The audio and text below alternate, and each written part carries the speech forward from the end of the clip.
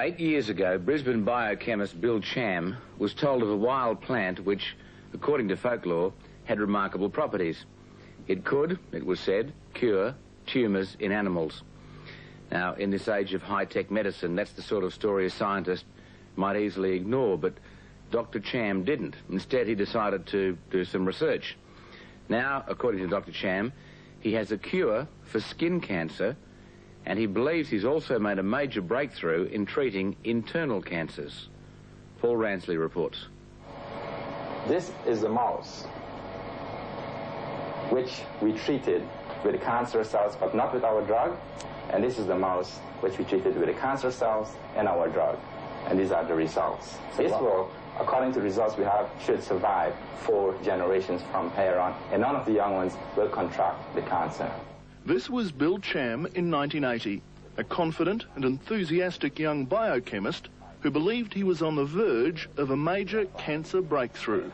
So in three months, you're saying that you could have a cure for skin cancer in that Indeed. time? Indeed.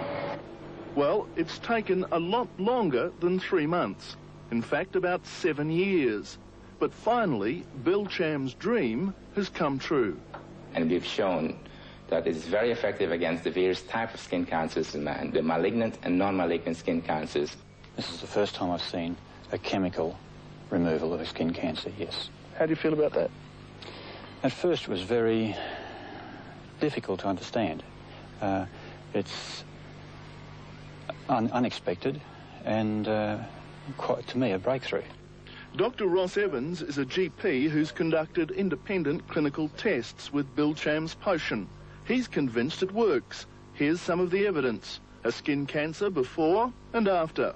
Another one, before and after.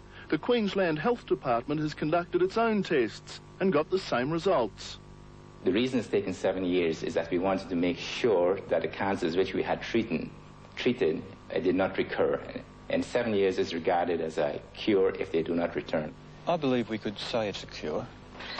This week, the first batch of Bill Cham's ointment goes on the market, and that's good news. 10,000 Australians get skin cancer each year, and about 1,000 of them die. But there's even more hope. Dr. Cham may have stumbled onto something even bigger. Well, based on the results which we have obtained with um, the internal cancer in mice, I'm very hopeful. But I must stress the fact that a lot of work has to be done. His experiments with mice suggest he may even have a cure for internal cancers. This is a mouse which was treated with cancerous cells, but also with our drug. And this mouse has been treated with our drug about six months ago, and it can be seen that it looks very, very close to the normal untreated mouse, suggesting that the cancer was reversed completely. But that doesn't mean it works on humans. There are still many, many tests to be done yet. We have actually done the work on skin cancer, hoping to generate enough funds to continue further research into internal cancer, which will require a reasonable quantity of funding and many years further research. But what's even more remarkable about this is that Dr. Cham's breakthrough was the result of a chance conversation he had with an old friend who told him that this weed, called devil's apple, was good for treating eye cancers in cattle.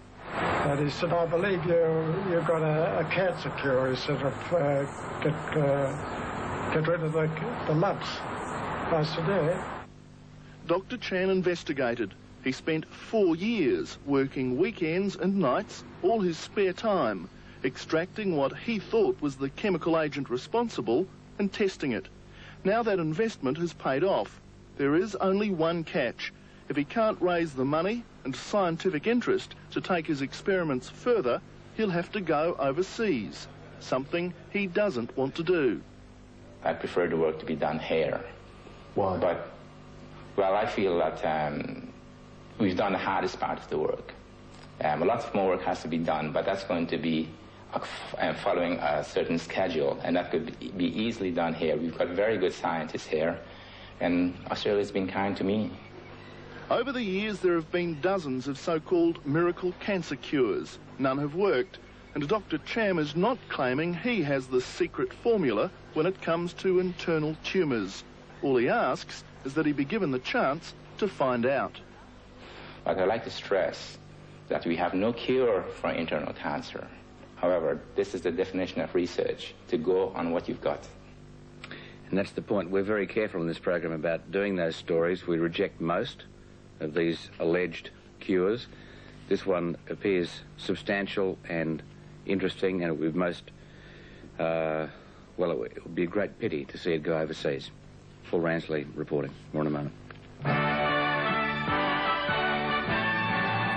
and not knowing how much of my nose would go. Very scary.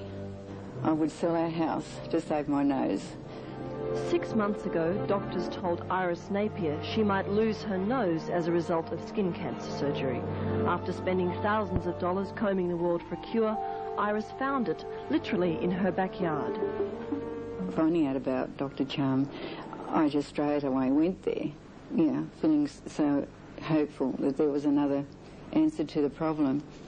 And there was, because there was a change in straight away after the treatment, but it did come back in the early stages. Um, but this time, it's it's just so much better, and, and it's, it is all gone totally. She's very happy now. She goes out, she has a normal life, whereas previously she didn't. But it's still improving. The most surprising thing is that the nose actually has regrown, and it's regrown, it's taking the same shape as it was before the treatment. Brisbane scientist Dr. Bill Cham spent 10 years researching, testing and developing Curaderm.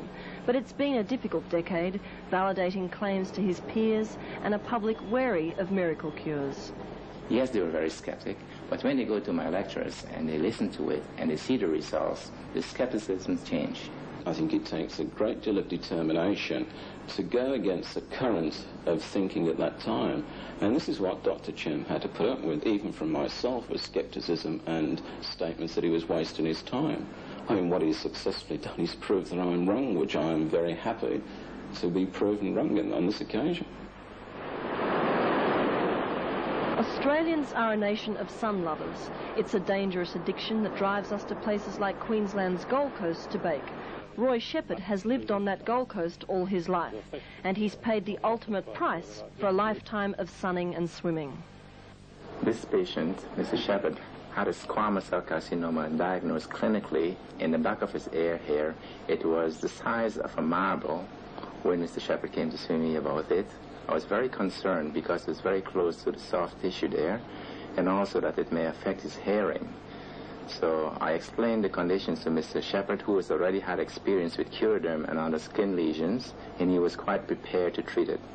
I was very surprised to know that after three weeks, the cancer actually just fell off. I, th- I think he's a miracle worker. That's certainly done tremendous things for me.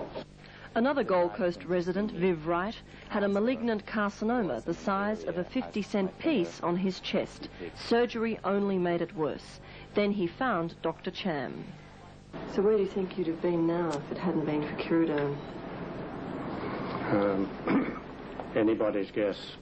There are no secret ingredients in Curaderm. The recipe for the removal of skin cancers is remarkably simple. What makes the cream work can be found in the devil's apple or the common eggplant. A single fruit contains enough of the compound glycoalkaloid to make 30 bottles of Curaderm. Minute traces of this ingredient seek and destroy cancer cells. But unlike traditional treatments, Curaderm doesn't damage healthy tissue. Would it be fair to say that Dr. Cham's treatment saved your life?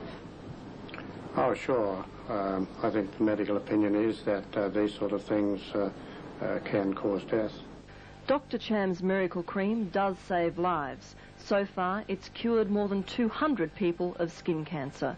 But his research doesn't stop there. Even now, the good doctor is working on cures for other, more deadly cancers. To date, the results look promising, but after many years of looking down microscopes, this Brisbane scientist is philosophical about time.